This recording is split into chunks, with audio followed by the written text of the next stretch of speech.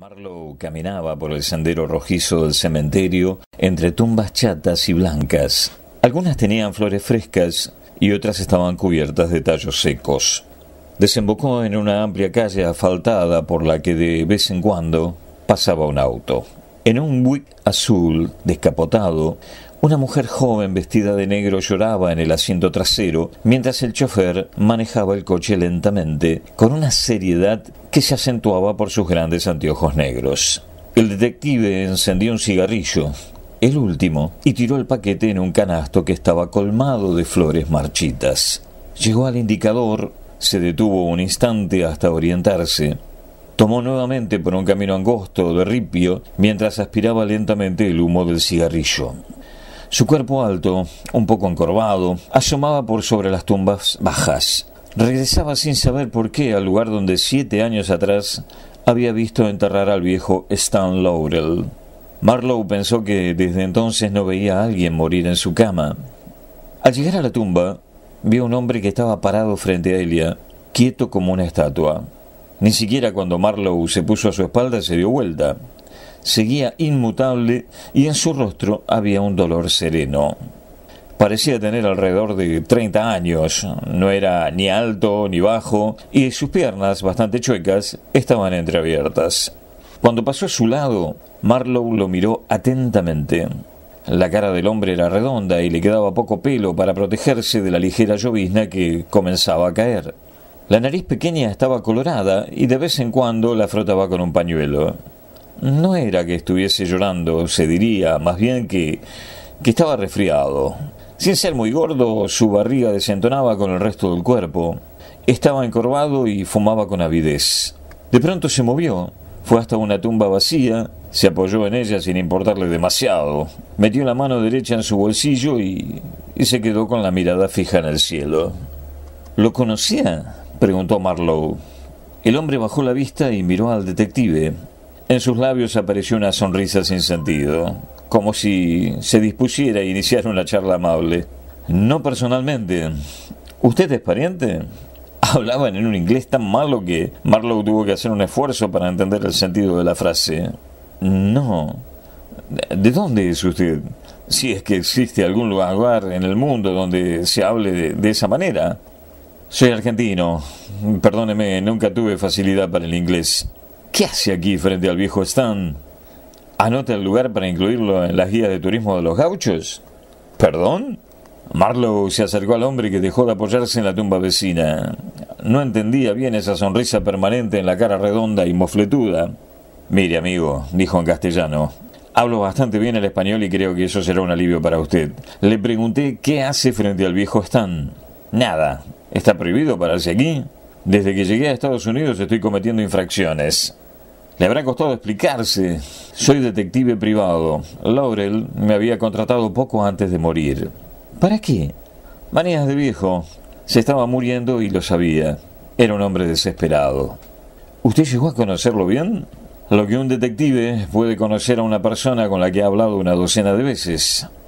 El hombre cobró un súbito interés por el detective.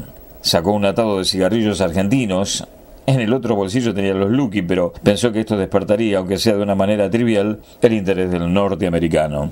Y entonces convidó a Marlowe. Dejó que le diera fuego. El argentino advirtió de pronto que el hombre que tenía ante sí no se parecía demasiado a otros que había conocido en Los Ángeles. Parecía un poco lejano y hosco, como si lo hubieran desclavado y se le ocurrió esa imagen de una pared y en su lugar hubiera quedado un agujero inútil. El clavo viejo y oxidado, hasta algo torcido, tampoco servía para nada. Desde su llegada el argentino estaba solo, en un hotel barato y sucio, y se alegró de hallar a alguien con quien charlar sobre Laurel y Hardy. Discúlpeme, habló bajando la voz como, como si tuviera vergüenza de lo que iba a decir. Tengo mucho interés en hablar con usted sobre Laurel. Si no es un inconveniente, creo que podría invitarlo a cenar esta noche o a la tarde, no sé. Me confundo un poco con los horarios de las comidas en este país. ¿Estás solo? Sí, soy periodista, pero no busco información. Estoy escribiendo una novela sobre Laurel y Hardy y pensé que usted... Mire, conocí a un solo novelista, un tal Wade, y me trajo problemas. Usted no busca líos, ¿verdad? No. Parece estar siempre en guardia, ¿eh? Es que es parte de mi oficio.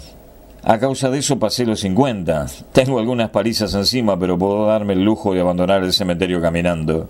El argentino rió como si Marlowe hubiese hecho un chiste. El detective se mantuvo impasible. Y entonces el periodista dejó de reír y preguntó, ¿qué me dice? ¿Acepta? No tengo mucha plata, pero, pero puedo pagar una comida. Eso es bastante en estos tiempos. El argentino metió la mano en el bolsillo de su saco y empezó a caminar por el sendero de ripio. Iba a hablar cuando advirtió que estaba solo. Se dio vuelta y vio a Marlowe parado ante la tumba de Laurel.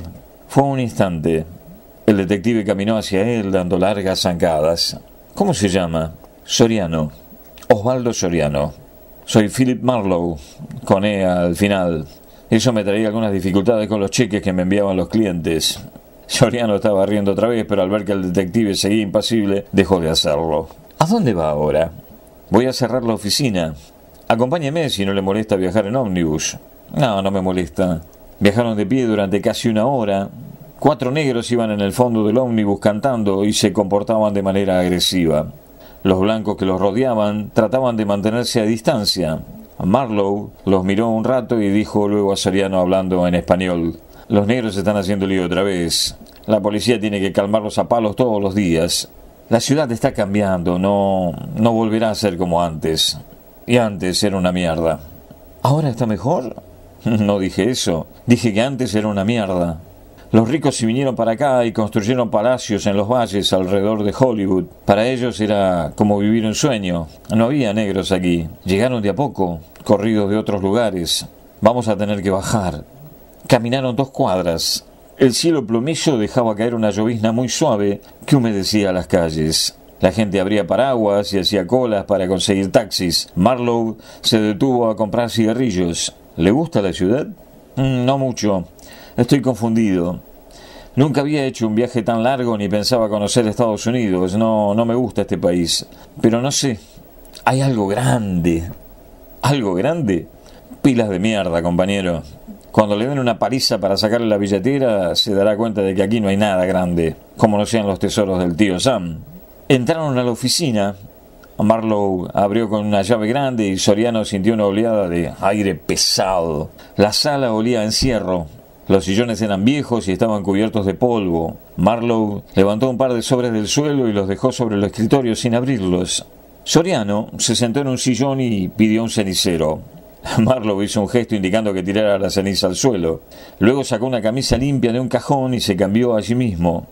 Limpió sus viejos zapatos con una cortina, encendió un cigarrillo y llamó por teléfono al servicio de recepción. Nadie lo había buscado. No se preocupe, dijo a la telefonista. Ahora encuentro a la gente en el cementerio.